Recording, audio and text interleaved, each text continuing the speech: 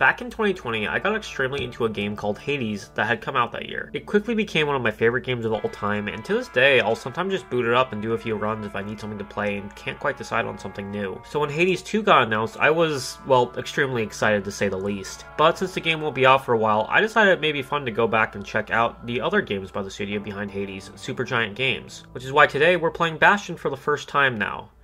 It's kind of funny, actually. I've heard about Bastion for years, and I've had it in my Steam library for forever, but I never really put together that was made by the same people that made Hades until I actually pulled up a list of all the games they've worked on. To give a brief history of the studio, Supergiant was started in 2009 when co-founders Amir Rao and Gavin Simon got extremely invested in indie games that were coming out around the time, such as Plants vs. Zombies, World of Goo, Braid, Castle Crashers. You get the gist. The pair already had a fair amount of experience making games, with their most recent jobs in the industry both being working on the Command & Conquer series at the time. And with some encouragement from Rao's father, the pair left their jobs and founded Supergiant Games in his living room. From here, the duo would recruit several other people they knew from within the industry to form their new studio. The first game was going to be Bastion, which actually spawned from the studio's art director, Jen Zee, drawing the Bastion itself, and this blew Rao and Simon away. They both asked her to leave her job at the time and come to be their art director, which she accepted and she still is the art director there to this day. I could spend time going over the entire development teams as they all have similar stories to this, but basically, the entire studio was just a whole group of people who are extremely passionate about games and making their dreams come true, which, you know, led to the studio being where it is today. So, with all that being said, I'm excited to check out Bastion finally after all this time. Like I said earlier, it's a game I got forever ago via Humble Bundle and never actually got around to playing. I'm sure we've all been there. Steam sales and free games and such tend to just pile up now and then. Anyway, I'm happy to finally get around to trying out this beloved game. Let's see what I think of it. As always, there's going to be spoilers, so if you want to go into this game spoiler free, I'd recommend pausing the video here. Otherwise, sit down and get comfy. I'm Jay, and let's talk about Bastion. The story of Bastion starts with our player character, the Kid, waking up on a floating rock in the sky as he traverses a crumbling world left floating in a void while a mysterious narrator begins talking about the events that led to the Kid being where he is. The world was destroyed due to an event dubbed the Calamity. The Calamity essentially fractured the city of Caelondia as well as the continent around it and threw what remained into this void. The kid survives making his way through these crumbling ruins and ends up at the Bastion where he meets their narrator, who we learn is named Rucks. Rucks tells the kid to collect cores that remain in the ruins from before the Calamity in order to power up the Bastion, and enable it to undo the Calamity. The more cores the kid gathers, the more that gets rebuilt on the Bastion, and the further out is able to send the kid to look for more cores. The kid eventually finds a survivor in the ruins named Zulf, who he brings back to the Bastion. Zulf is a member of the Ura race of people. They used to be at war with the Caelondians long ago. He gets along well enough with Rucks and is mostly just happy to be safe at the Bastion. This changes, however, when the kid brings back another survivor he finds, this time a girl named Zia. She's an Ura like Zulf, but she was raised in Caelondia since she was a child. With her, she has her father's journal, which Zulf reads while the kid is away.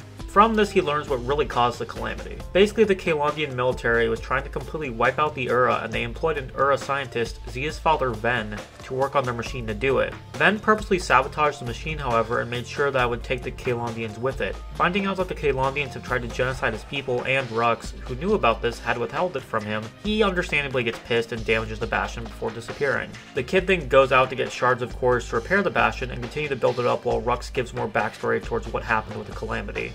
While the kid is gone, however, Zulf returns, leading a band of surviving Ura with him. They damage the Bastion once again and take Zia with them this time. The kid fights his way through Ura territory to get her back, and when he finally gets to her, he finds out that she'd gone with the Ura willingly. She did this in order to see their intentions and compare what they were hoping to achieve against what Rucks had told her about the Bastion being able to undo the Calamity. With Zia safely back at the Bastion now, the kid makes one final trek out to get the last shard needed to give the Bastion enough power to stop the Calamity. This shard also just so happens to be in the heart of the remaining Ura territory. The kid finds his way through the Ura stronghold and finds them kicking the crap out of Zulf, with the Ura blamed for leading the kid directly to them. The kid is then given the choice of saving Zulf or leaving him to succumb to his wounds. If the kid leaves Zulf behind, he wipes out the remaining Ura and goes home with the shard. If he saves Zulf, however, the Ura will attack him but cease fire once they realize the kid is just trying to save someone else and watches the two of them hit the Skyway back to the Bastion. I personally saved Zulf, and I'll get into why in a bit. Once back at the Bastion, the kid hands over the final shard and is given a choice. Rewind time to before the Calamity but no one will remember it, or use the Bastion's power to escape the Calamity Zone and start over again somewhere else. I personally chose to escape to find a place to start over, and I'll get into why with that in a bit as well. I have generally positive feelings in the story, but I'm still kind of mixed on it. I think the presentation of it, with almost everything being relayed solely through Rucks telling the story of what's happened to Zia, being a really cool framing device that helps make this feel really unique in how it's played with throughout the game. The way Rucks, Zulf, and Zia are written is also really well done in my opinion, with each one having understandable motives and reactions to the information they learn throughout the game. Mostly, anyway. This sort of starts to slip a bit towards the end of the game when Rucks just says some stuff about the Ur that feels a little uncomfortable given the fact that his country tried to genocide their their entire race. Like, I can understand him being a bit hesitant to reveal to an Ura person he just met that the reason for all this was the people trying to wipe out their people. But him talking about the Ura towards the end just feels like he's a bit more internalized racism that he needs to work through than it was originally was led on. It's kind of fascinating because by the end of the game, you can very easily see that he's just an unreliable narrator. And while it's interesting to watch that kind of breakdown of him and how he as a character is still flawed and has his issues, I do think something does take away from his claims that the Bastion will fix everything by going back in time when we get someone is used like this. To me, it kind of just screamed of returning to the good old days and not thinking about what the consequences of those were. A solid example of this is the encounter with Zulf after the other Ur have beat him up, where Rucks is positive he knows exactly how it's going and how it's all going to be fine that the kid is slaying the Ura because they're going to be fine once the world resets. Meanwhile, the kid is watching Zulf get beat up by his people, and he has to choose to leave him to die or not. Like I said earlier, I chose to save Zulf. I did this because, in my personal opinion, Zulf wasn't a bad guy. I think if I found out the guy I met a few hours ago that was claiming his magic machine could fix everything was also within the government that tried to nuke your entire culture and ended up nuking themselves in the process, I'd. Well, I'd be pretty distrustful of him also. I think the game does a good job of not painting Zulf as the bad guy despite him being the antagonist for a good bit of the game as well. It really shows that they understood what they wanted to do with him character-wise, and it's one of the stronger parts of the narrative in my opinion. It's really interesting to compare and contrast how the game handles him and Rucks by the end. As his time goes on and the kid gets exposed to more and more things, the perspective on them flips, and even if I'm a little conflicted on Rucks ending up as the racist grandpa, I do like this dichotomy they set up. But what I'm ultimately really conflicted about how it was handled is the ending of the game. More specifically, that final choice I mentioned. This is mainly due to me feeling like a moral choice like this in a game shouldn't have a clearly better outcome. What I mean by this is that if you choose to return to the world before the calamity happened, nothing actually ends up changing. This is hinted at more explicitly once you hit New Game Plus, but just in terms of the context of this choice scene, you can already see where this is going. The machine will return the entire world before the calamity was set off, but no one will remember what happened. No one will know what the calamity did and what it will do to everyone if it's let loose and without a way to warn people or for anyone to know what will happen, the people who tried to genocide the Ura will just go ahead and do it again, leading everything back to this exact set of circumstances and cause the cycle to play out once again. You don't have to leave ending, you may not be momentarily saving the lives of those lost in the calamity, but you are able to ensure that nothing like that can ever happen again going forward. So if you think about it for a few seconds, you realize that by going back, you're not stopping the genocide of the Ura, you're just setting up to play out the exact same way all over again once time gets reset. The cycle of violence is a key part of the game's narrative, and I think the idea the team behind Bastion were trying to get at with this choice is that the cycle isn't going to end unless we make it end. If you go back in time, prevent the calamity from happening with the Bastion, you're resetting things to zero. No one learns anything, the people in power who pushed for the Ur genocide that blew up in their face are still going to do that, it's going to harm everyone all over again because there's repeating history without change. But if you leave it behind, start over with the knowledge of what went wrong and how that violence hurts everyone, you can prevent something like that from happening again. Focusing on going back to a better time before bad things happen without learning about what led to them aren't going to make the atrocities not happen. It just means they're going to happen again. I think with this, the team at Supergiant were trying to provide commentary on learning from history and being destined to repeat if we don't. I think this is further exemplified in how Rucks is the one trying to push for us to go back in time before the calamity and just let things function as they do. He knows the full history of what happened with the calamity and why the world ended up the way that it did, but he doesn't want to learn from it and really acknowledge why it happened. He just wants to undo it all and forget it, which in turn just leads to it happening again and again and again. You know, I think saying this out loud and talking about this has actually made me change my stance on the ending. When I actually have all my thoughts fully down like this, I think looking at this choice as something that doesn't work on a gameplay level isn't the right way to think about it. Because yeah, sure, on a game level, it's weird to make one choice just outright better than the other when it's supposed to be a moral thing. But I think this choice just shows it's important to take a step back and realize that sometimes in order to tell a narrative in an interactive medium, sometimes doing something against what usually works may end up standing out for the better. I think the message about breaking the cycle is really strong now that I've thought about it a bit more, and I honestly really like how it's handled in this game. I think overall the story of this game is pretty good. There's a few very noticeable bumps and a few things that haven't aged super well in my opinion, but I think for a first outing and writing a game, it was a pretty solid story. It's interesting comparing the writing in this game to Hades, since it's really clear that as time has gone on, the writers over at Supergiant have really honed their skills. It's interesting coming back to this and seeing how there are elements of their first game that are still present in their most recent one writing wise. Hades also has similar gameplay to Bastion as well, though I think the transition backward from Hades to Bastion in that sense is a lot more jarring than it was with the writing.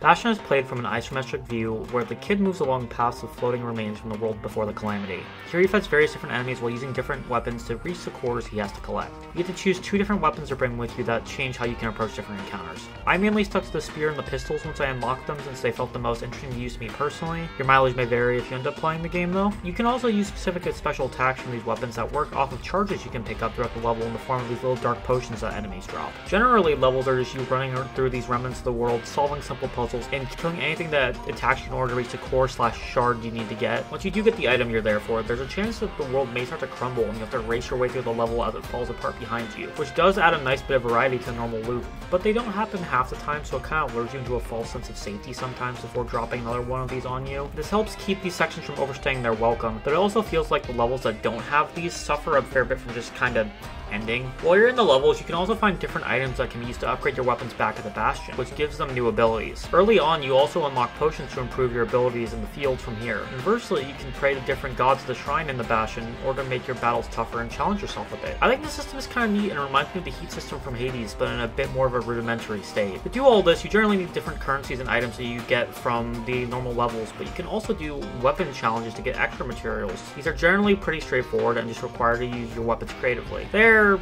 alright. Nothing spectacular, but they're neat little distractions. Speaking of little distractions, there are also little memory battles you can do that are basically just a horde mode with backstories of characters attached. I wasn't super big on these due to the actual gameplay loop not being particularly engaging to me, but I went through them to get the story tied to them, and I enjoyed that portion of them at least. The section's a little short this time around, but I really don't have a ton to say about the gameplay loop of Bastion just because, like, pretty basic, I felt like. You use your two attacks, you dodge sometimes, you use your special on bigger guys. Being a bit unfair to the game breaking it down like that, but it's genuinely hard for me to remember more about it than that, and I played the game a few days before writing this. I think in terms of how it does its enemy AI and the way weapons work, it didn't really grab me because they felt like prototypes of how I've seen this same style done elsewhere. I know that's not entirely fair, and it's probably just because of the fact that this game is sort of a blueprint for the one I'm thinking of directly, but we'll talk about that later. Overall, I just didn't really click with the gameplay and felt pretty bored by it. It's not explicitly bad or anything, it's just kind of there, and that's the most I can say about it.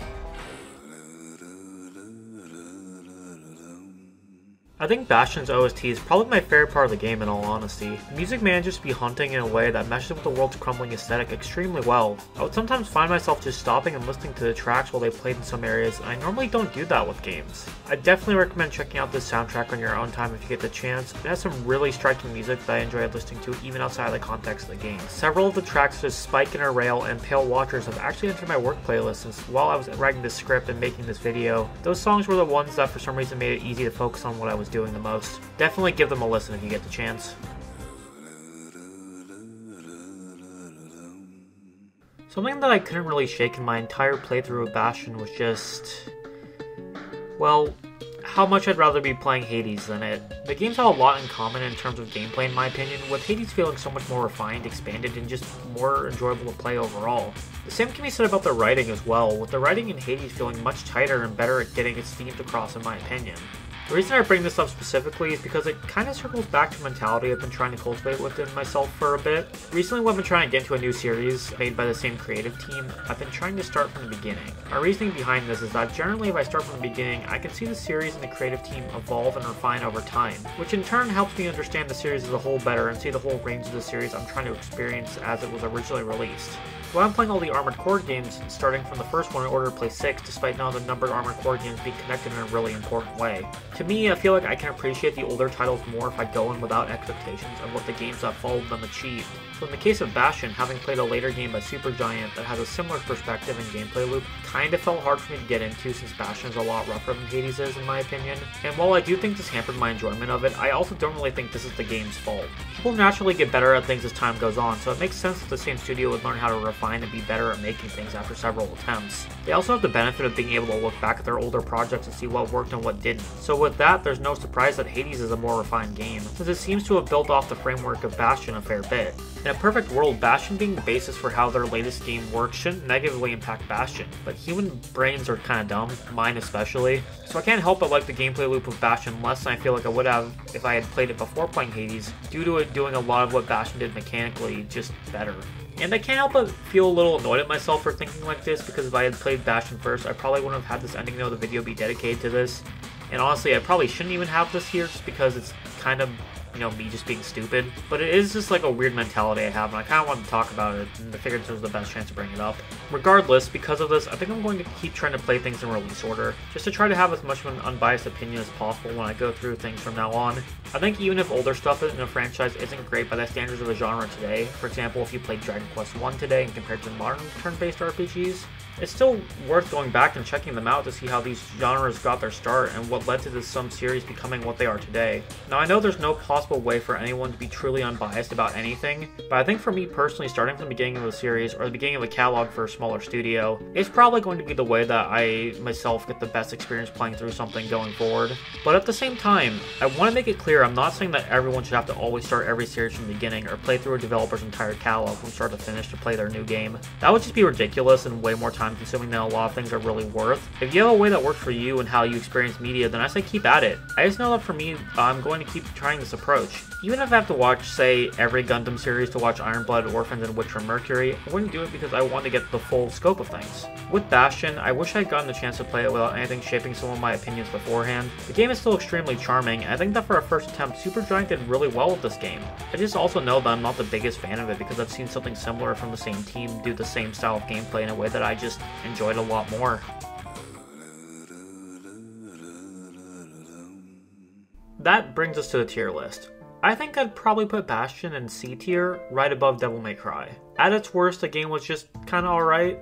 It's probably not something I'm going to play again anytime soon, but I think it's not outwardly bad or anything like I said earlier. Man, Looking at it now on this list, it feels weird to put it here when out of everything new I've played for the series so far, it was by far the thing I've heard the most praise for before going into it. I guess it just kinda goes to show that your tastes aren't always going to line up with the common consensus on things. I will say it's interesting that we haven't hit an actual bad game yet in this series. Whether that's a statement on how I approach media or how good the stuff I've been playing is, I'll leave for you all to decide.